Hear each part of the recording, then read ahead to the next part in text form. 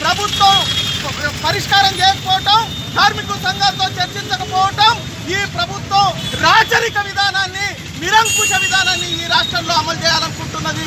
తెలంగాణ రాష్ట్రం ఈ ప్రజలు పోరాడి సాధించుకున్నటువంటి రాష్ట్రం. పోరాటాలు కొత్త కాదు అణిచివేత కొత్త కాదు నియంతృత్వం కొత్త కాదు. వాటిని ఎదుర్కొనే దమ్ము ధైర్యం ఈ ప్రజానికానికి కార్మిక వర్గానికి ఉన్నది. ఖచ్చితంగా